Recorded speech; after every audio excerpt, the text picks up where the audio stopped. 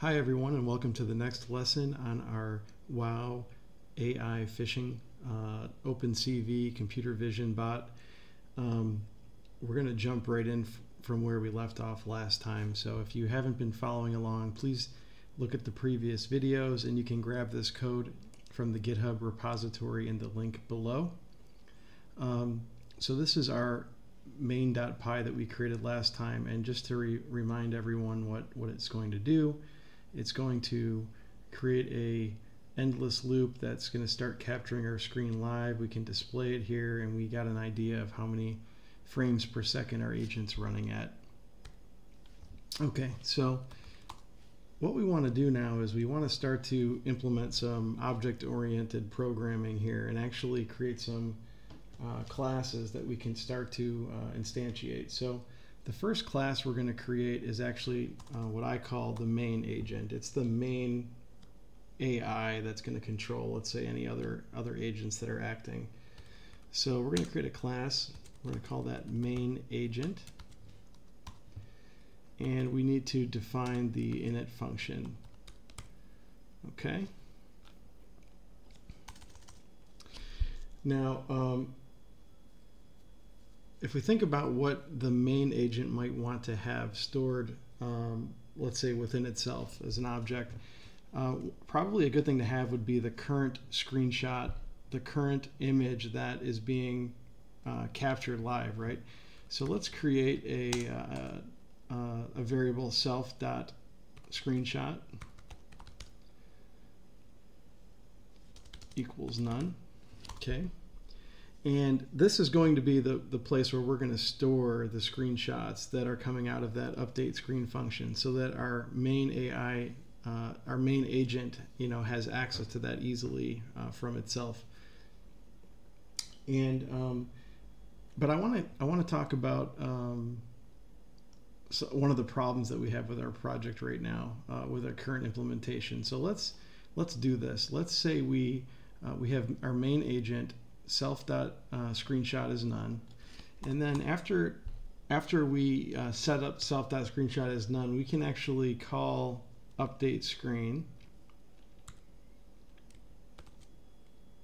Okay, and what this is going to do is this is going to create a uh, it's going to run this this application and it's going to create this infinite while loop. And um, let's do one one more thing. Let's instead of um, saving this final item here as screenshot, we can actually pass in. Uh, let's actually make this a part of the class. So let's call self.update screen. And let's pass in self will be passed in. Okay. So, so, so what we've done here is we've, we've changed our update screen function to be part of the main agent class. And when we instantiate the main agent, we're going to create a, a spot to hold the screenshot. And we're going to, we're going to start this update screen function. Okay. And when we start this update screen function, instead of storing this in screenshot, we can store this in self.screenshot.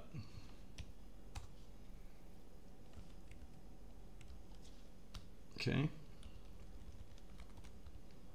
So what that means is that um, we got to fix all of these. So self dot screenshot. Okay. So what that means is when we create uh, this this class, when I instantiate this main agent, it's going to immediately run this code. That's what this init function does. You can think of this as the constructor uh, if you're thinking about like C++ and it's going to uh, immediately run this. So it's going to immediately start. So instead of calling update screen in our main function, we're actually going to we're going to create our main agent. So let's call it main agent, and we're going to create an instance of that. Okay, and when I when I run this code, just with just by creating this agent, it's going to immediately start executing this code. Okay. So we've, we instantiated main agent and it immediately started this, this while loop. So let's quit that. So let me show you one of the problems that we have right now with this code. Okay. one of the problems that we have is what if I want to perform other tasks while this is happening? So let's say, uh, just to illustrate the point, let's say after we set up our agent, so all the setup happens here. Let's say we want, let's just print out setup complete. Okay. So what this is going to do is this is going to instantiate the agent, it's going to set it up, and then it's going to notify, okay, the agent's been instantiated, it's all complete. So let's look at what happens. And actually, let's let's comment out the FPS line because um, we won't be able to see it. We won't be able to see it. It'll it'll it'll be scrolling so quickly. So when I run this, you'll see that I don't get any any output here. But when I quit the program, I get setup complete. So this is this is the problem with the current implementation that we have. When this function is called, it goes into an infinite loop. So nothing ever happens after that. And that's not really what we want. What we want is to set up update screen as a daemon in Linux terms or a process in Windows terms.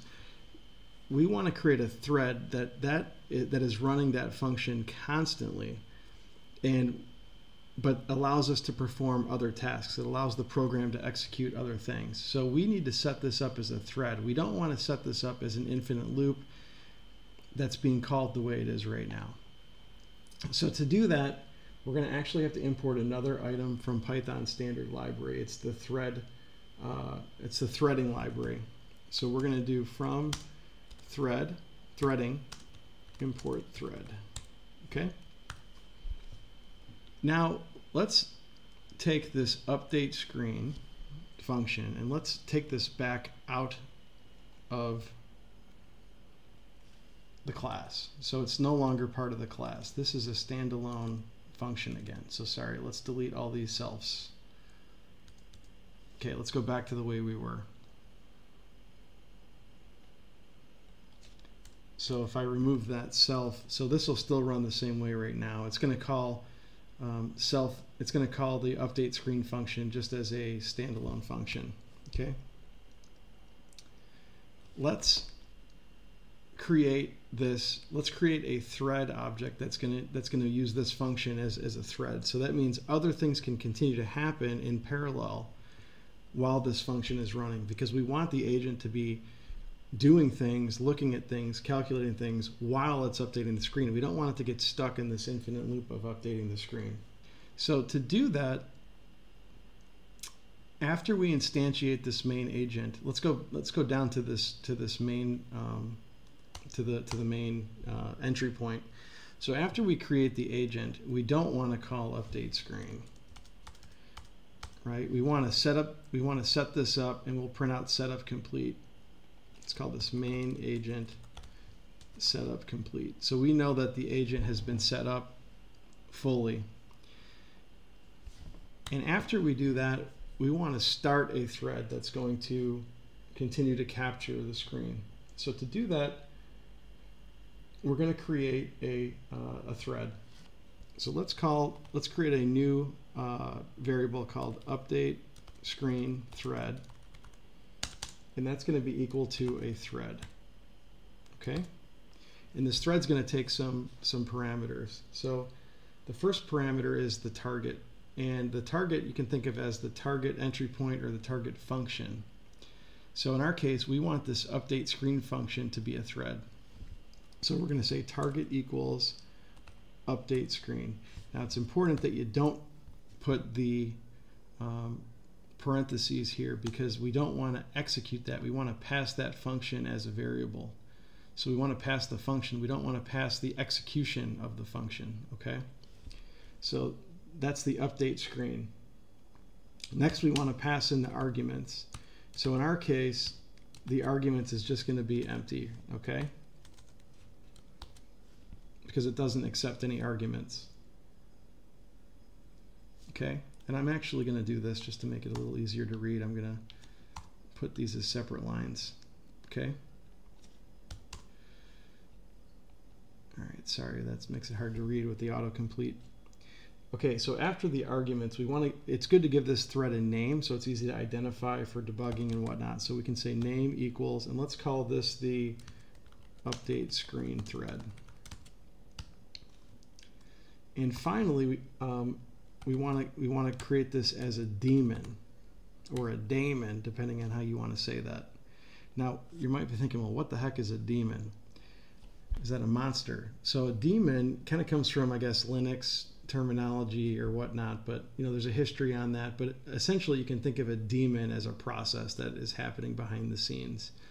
Um, the reason we want to set this as true is, and I, and I can demonstrate with it on and off to kind of show you what happens. But essentially, what that's going to do is that's going to make it easier to uh, to close this when the program is finished execution. So let's um, let's run this. Uh, oh, sorry, we, we are not ready to run this yet. So we've created the thread. So now we have to actually start that thread. So we've created it and it's just sitting there. It's waiting for us to hit the start button. So let's start the thread. Okay. So now that we hit start, uh, now that we've started that thread, um, it's going to execute. Okay, and we can actually print here thread started. So this is just to kind of show that that the, the application is is flowing. So let's run this and see what happens. Let's get an idea what's going on. So I actually I actually made a mistake here. So we actually want to set this daemon as false. And the reason is that this is our, you can think of this as kind of our, uh, our main thread. Um, so the, the, the other threads that we'll be using, like that are moving the mouse around and things like that, those are going to be daemons. Those are going to be kind of tied to this main thread. So we want to set that as false. Okay. So um, I can, so I'll, I'll explain this daemon um, a little bit later on, on why you would want that true or false in different situations. So what we've done here is let's look at let's look at what's happened. We've um, instantiated our main agent. Okay, so the main agent was complete, so all the code executed. Um, let's look at our main function here. We got all the way to thread started, which means everything executed here, and we still have this infinite loop going. So what we've done here is we've created a thread that um, is continuing to update this screen and that is continuously being stored in main agent. So everything that we see on the screen, main agent now has access to in the variable self.screenshot. So any other logic that main agent wants to perform, it's going to be able to, to use this screenshot now as input data. Okay? It's going to be able to see. This is where the computer vision starts coming in. And we because we've used threads, we're not locked in that loop. We're able to execute other code. So if I wanted to, I could actually start a second thread or a third thread and start running those as well. And those are all going to be running in parallel. Okay, so so what what we have now is the basic building block for the vision part of our application where we're capturing the vision and we are able to execute other code. So I think this is a good stopping point. So you might want to take some time and experiment with um, threads. You might want to try on your own, see what happens if you add another thread and start it uh, and see what happens. I'll let you experiment on your own with that. And um, I'll see you in the next video. Thanks.